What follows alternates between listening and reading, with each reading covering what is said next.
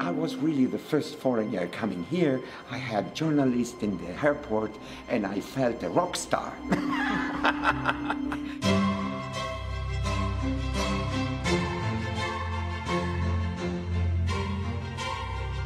I'm Marco Carniti.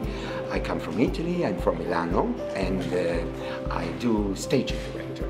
I'm building up a new uh, idea for uh, Bohème, La Bohème di Gioacchino Puccini. Um, opera needs theater too, and I think that uh, uh, um, only director that comes from theater can do opera, because uh, singers are musicians, it, they need somebody that help them to not thinking only to the notes, but try to combine what is the expression, the body language, and the atmosphere that they have to create.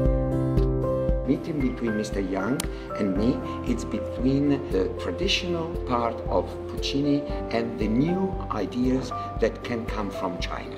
And this is what interests me, to project uh, Bohème in the future, uh, uh, where um, it was very, very difficult usually to do this, especially because in, in Europe they want the tradition, the public loves tradition, especially in Italy. But the world cannot stop in the past. What is important is to use the past to go in the future. What I feel now is that here is the place where is happening the future.